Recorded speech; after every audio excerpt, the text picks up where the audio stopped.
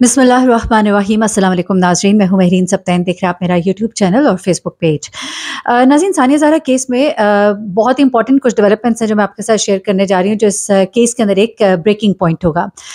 ایک بات آپ کو بتاتی چلوں کہ ثانیہ زہرا کیس میں جہاں پر بہت سے رپورٹرز ہمارے بھائی ہیں جو فیلڈ میں کام کر رہے ہیں جو اپنی رپورٹ سامنے لاتے ہیں تو ہم ان کی رپورٹ سے بھی دیکھتے ہیں۔ اس کے علاوہ کچھ ایسے لوگ ہیں جو رپورٹنگ کر رہے ہیں لیکن وہ سوشل میڈیا پر نہیں آتے، ان کے اپنے یوٹیوب چینلس نہیں ہیں۔ پھر میں ان سے بھی کنفرم کرتی ہوں۔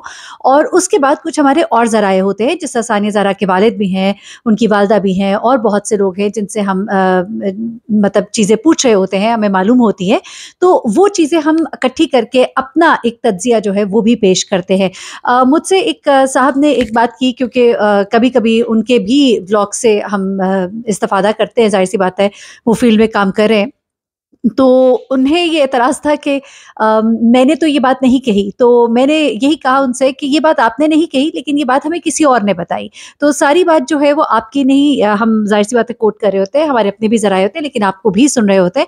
تو یہ چیزیں بھی ہوتی ہیں، چل رہی ہوتی ہیں، کیونکہ میری کوشش ہوتی ہے کہ میں جو چیز آپ تک پہنچاؤں وہ اتھینٹک ہو، اس کے اندر کوئی ہیر پھیر نہ ہو، اس کے اندر کوئی زیادتی نہ ہو۔ ہاں اپنا تجزیہ بھی ہم ساتھ ساتھ پیش کرتے ہیں۔ خبر کی طرف ذرا آ جاتی ہوں، کیونکہ ثانیہ زارہ کیس میں ایک جو بہت امپورٹنٹ ڈیولپمنٹ ہوئی ہے، وہ یہ ہے کہ جناب ثانیہ زارا کیس میں جو ان کے شوہر ہیں، جو کہ مین میں کہوں گی کہ نامزد ملزم ہے ان کو گرفتار کیا گیا۔ گرفتار کرنے کے بعد ان کو پولیگرافک ٹیسٹ اور دیگر ٹیسٹ کے لیے جو ہے ان کو آگے کیا گیا۔ اچھا ایک بات جو ہے بہت امپورٹنٹ ہے اس پورے کیس میں، کیونکہ یہ ظلم تو ہوا ہے ثانیہ کے ساتھ، کیونکہ ثانیہ کو غسل دینے والی جو عالیہ نامی خاتون ہے انہوں نے اپنا باقاعدہ بیان جو ہے وہ درج کرایا ہے۔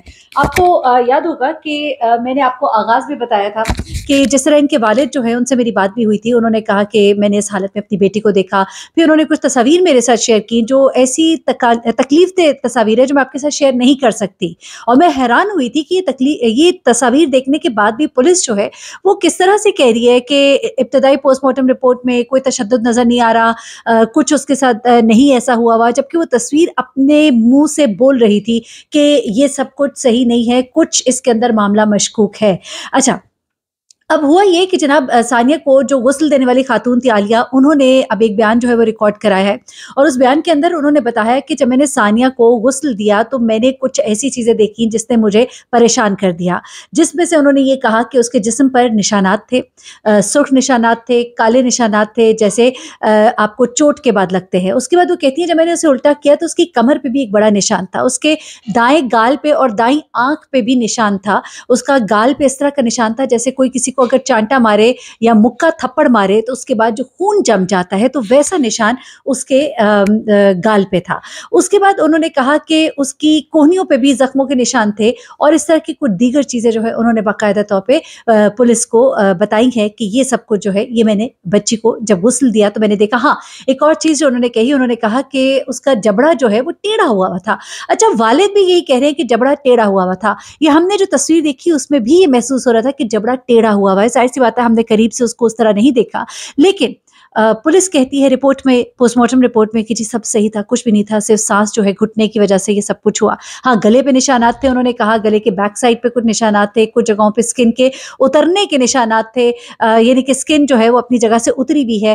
تو اس طرح کی چیزیں جو ہے وہ ظاہر کر رہی تھی ان تمام چیزوں سے یہ ایسا لگتا ہے کہ ثانیہ زہرا جو ہے اس کے اوپر کچھ تشدد ہوا۔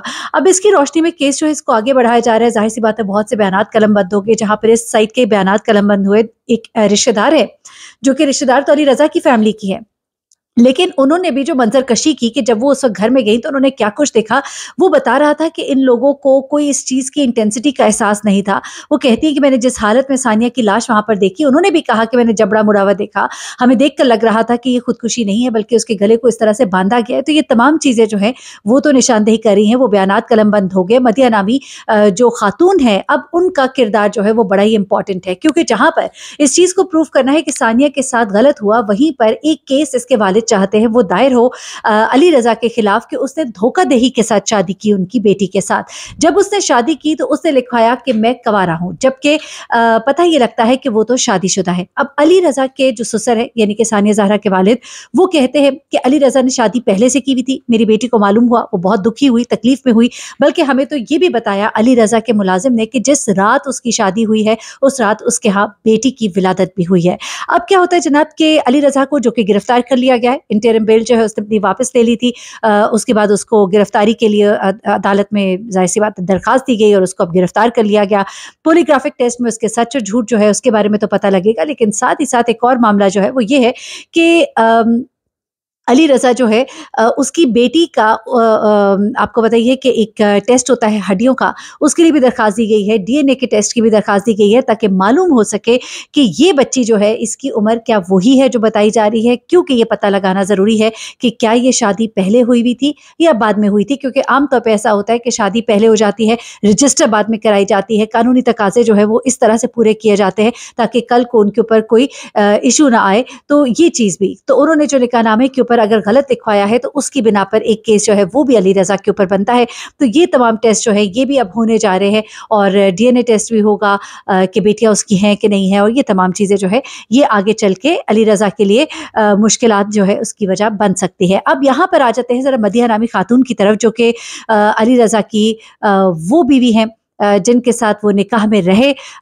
ثانیہ کے ساتھ ہوتے ہوئے بھی جنہوں نے اپنا بیان دیا کہ جی ہم تو بہت اچھے سے رہتے تھے۔ ہمارے تعلقات اچھے تھے اور یہ تمام بیان دیا۔